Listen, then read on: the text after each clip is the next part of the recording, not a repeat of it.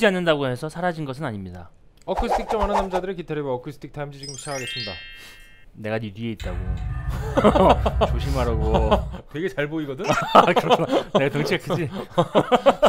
보이지 않는다고 해서 사라진 것은 아니다. 그런 게 뭐가 있을까요? 뭐 많죠. 뭐 정이라던가 아 그런 거. 공기라던가 네. 내가 너에 대한 어. 이라던가 빡침? 뭐, 화? 이런 거? 네. 뭐, 보이지 않는다고 뭐 사라진 것은 아닙니다. 그렇죠. 이건 뭐 뭐랄까 뭐 브랜드에 대한 이야기이던 건가요? 이렇게 엮어야 되는 건가요? 아, 뭔가 그 어, 모델이. 한동안 안 보인다고 해서 한동안 어, 보이지 않았지만 없어진 없어진 것은 건 아니었다. 아, 다시 아직, 나왔다. 아직도 건재하더라. 그렇다. 네, 그렇다. 그게 신신으로 나왔다. 네, 그렇습니다. 어, 되게 오랜만에 보는 기타인데요. 네, 사라진 줄 알았는데 사라지지 않았고요. 여전히. 네, 건재하고 있었던 제이드 클래식입니다. 어, 옛날보다 훨씬 더 좋게 나왔어요. 네 네 네. 제이드 시리즈가 예전에 그 초심자들한테 되게 많이 그 추천이 됐었던 게 맞아요. 여성분들은 이제 기타를 처음에 구매할 때 뭐 가성비도 중요하고 가격대도 중요하고 하지만 일단 예쁜 거 찾으시는 분들의 비율이 꽤 높았단 말이에요. 네, 그래서 예전에 이런 류의 핑크 뭐 약간 green 이런 류의 파스텔톤 기타들이 한동안 어, 확 그쵸. 유행했었을 한참, 때가 있었어요. 한참 왔었죠. 10년도 전에 그때 이제 여성분들이 기타 처음 시작할 때 나는 핑크로 할 거야, 화이트로 음. 할 거야 이런 분들 많았단 말이죠. 그때 20만 원대에서 10만 원, 20만 원 딱 요 정도 가격대에 서 그래도 괜찮은 정도의 quality로 그 색깔을 뽑아주는 게 제이드 대표적으로 맞아요. 말이죠. 그래서 그때 나름대로 꽤 준수한 판매량을 올리고 나서 언제 있었냐는 듯 약간 사라져 버렸던 기타였는데 되게 오랜만에 다시 돌아왔습니다. 되게 반갑네요. 제이드 클래식으로 약간 스펙을 정리 정돈을 해서 다시 나타났는데 예전보다 조금 더 고급스러운 그런 느낌의 디자인과 완성도를 볼 수가 있습니다. 여전히 아무래도 예쁜 기타에 대한 수요는 있게 마련이고 그리고 이 정도 이제 가격대에서 기타가 이 디자인에 그 뭔가 포커스를 맞췄을 때 뭐 나머지 기본 스펙이나 사운드가 너무 안 좋을 것이다라는 선입견이 있는데 어느 정도 준수하게만 뽑아줘도 꽤나 많은 만족감을 줄 수가 아, 있어요. 그러면 핑크에 대한 열망 있잖아요. 어, 그럼요. 있죠. 그럼요. 왜냐하면 이 기타를 사시는 분들은 기본적으로 이 핑크가 좋아서 그렇죠. 디자인이 좋아서 사시는. 분들이기 때문에 맞아요. 소리가 이 같은 가격대 다른 애들보다 약간 떨어지더라도 그게 얼마든지 이 디자인으로 음. 그거를 뭐 약간 벌충하고도 남는 그런 기타가 아닌가 생각을 해봅니다. 그래서 오늘은 우리가 정말 기타 소리가 너무 안 좋지 않으면 뭐 괜찮은 뭐 준수한 이 엔트리급 핑크다 이렇게 말씀드릴 수 있지 않을까 생각을 해봅니다. 25만 9천 원의 가격을 가지고 있고요. 세 개의 어, 색상으로 출시가 되는데 이게 PPOP, PPAP 아니고요. PPOP 색상입니다. 네, 이게 pastel pink open pore. 어허. 이 뭐 여러분들 뭐 open pore finish 잘 알고 계시겠지만 open pore finish는 나무의 결이 보일 정도로 아주 얇게 그 공개된 느낌의 finish가 이제 open pore고요. 그거보다 조금 더 두껍게 들어간 게 이제 뭐 natural satin 정도라고 보시면 되겠고요. 그리고 이제 위쪽에 이제 뭐 가득 뭐 이렇게 반짝반짝거리게 음. 발라놓은 게 이제 gloss finish 이런 식으로 그 두께에 따라서 명칭이 좀 달라지는데 open pore는 나무결이 보이는 finish다. 완전 거의 그냥 나무. 나무죠. 네 나무인데 그냥 핑크가 위에 그냥 있고 결이 어. 보이는 그런 느낌이라고 보시면 돼요.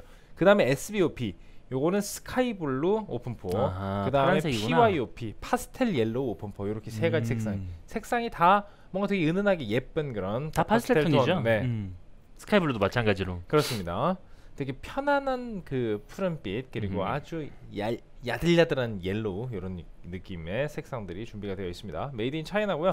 스펙 살펴볼게요. 전장 101cm, 무게는 1.68kg로 굉장히 가볍고요. 이 심지어 앰프 장치도 있어요. 앰프 장치도 있는데 가볍고 그리고 엄청 가벼워. 저렴합니다.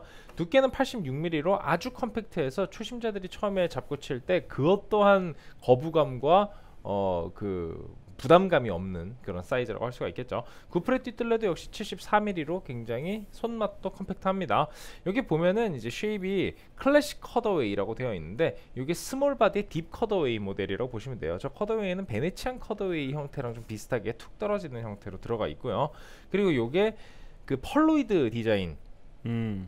pearloid가 뭐냐면은 요런 음. 자개인데 자개 모양의 플라스틱을 이제 pearloid라고 하죠. 아하. 자개는 mother of pearl이고 음. 자개 모양의 플라스틱은 pearloid라고 하는데 그때 당시 이제 뭐 락큰롤 시대 때 그런 pearloid 약간 좀 저렴한 재질로 해가지고 막 자개. 문양을 막 이렇게 이렇게. 하는 게 음. 대부분 다 pearloid였고 거기서 이제 좀 영감을 받은 디자인이라고 보시면 되겠습니다.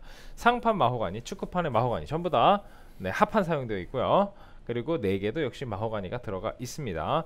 head machine은 vintage machine head가 들어가 있어서 굉장히 뭔가 그 핑크랑 여기 옆에 같이 하얗게 이렇게 있으니까 뭔가 껌 같기도 하고 아주 음, 캔디- 귀여워요. 캔디 같기도 하고. 맞아요. 앙증맞은 그런 느낌의 machine head 보실 수가 있고요. 너트 너비는 42mm. 지판은 엄청 얇네요. 네, 지판은 Indian laurel입니다.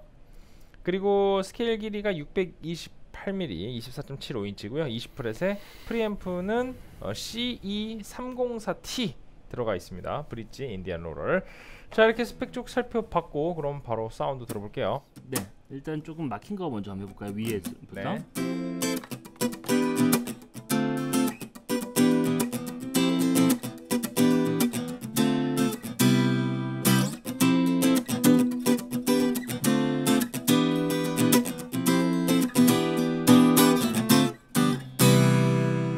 이런 느낌. 들을만하네요. 네.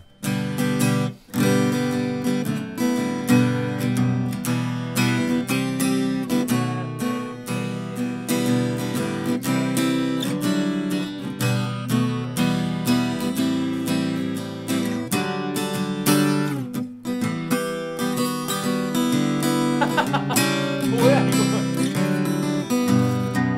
뭐 이렇게. 아 아주 좋네요. 재즈 감성 무덤. 네. 어 기본적으로 소리가 약간 뭐 가볍고 좀 날아가는 건 있는데 근데 뭐 음. 초심자 여러분들이 치기에 뭐 핑크에 집중해서 아 예쁘다 예쁘다 하면서 치면은 뭐 못 칠 소리는 아니에요. 핑크에 집중해서 치는 건 어떻게 치는 네, 거죠? 핑크에 집중. 아, 아 예쁘다 핑크, 예쁘다. 아, 아, 예쁘네 소리는 잘 모르겠고 예쁘다 이런 느낌. 어. 네. 자, 핑크 사운드 들어보겠습니다. 핑크 사운드요? 핑크 사운드 들어보겠습니다. 네 핑크 사운드. 네, 핑크 사운드 들어보겠습니다.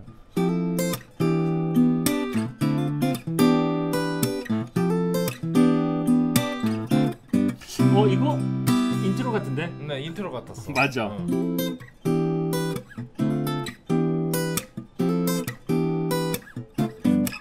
그거 아니야. 분명?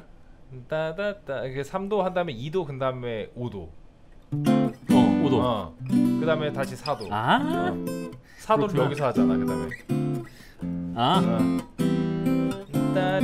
아, 뭐 이런 식으로 가는구나. 자기가 쳐놓고 제가. 쳐놓고도 기억이 안 나네요. 자 그렇습니다. 이제 바꿀 때가 됐다 인트로. 아이고, 그래. 네. 한번 바꿔야 되겠다. 음. 자, 그러면 이제 앰프 사운드. 저는 이게 좀 기대가 돼요. 왜냐면 20만 원대로 있으면서 어떤 사운드가 날까? 음. 요게 C- 조금 맞춰주면 좀 좋을 것 같은데. C304T 이 가격대에 사실 앰프가 있다는 것만으로도 감사할 일이죠. 그럼요. 자, 그럼 사운드 들어보겠습니다. 조금만 잡고 쳐볼게요. 네. 미드를 좀 빼고.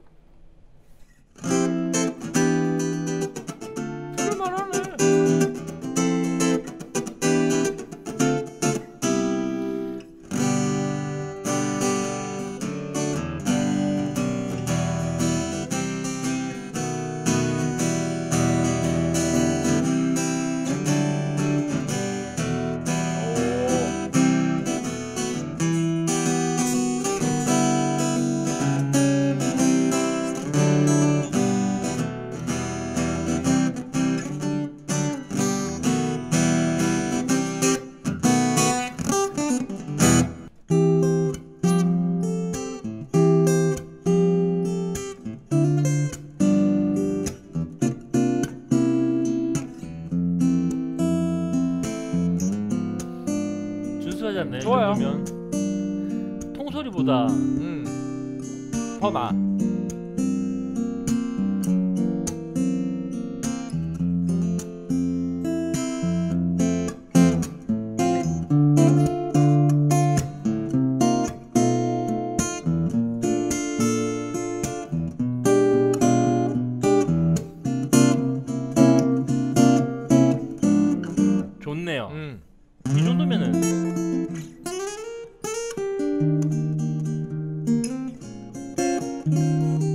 좋아요. 음. 힘들죠.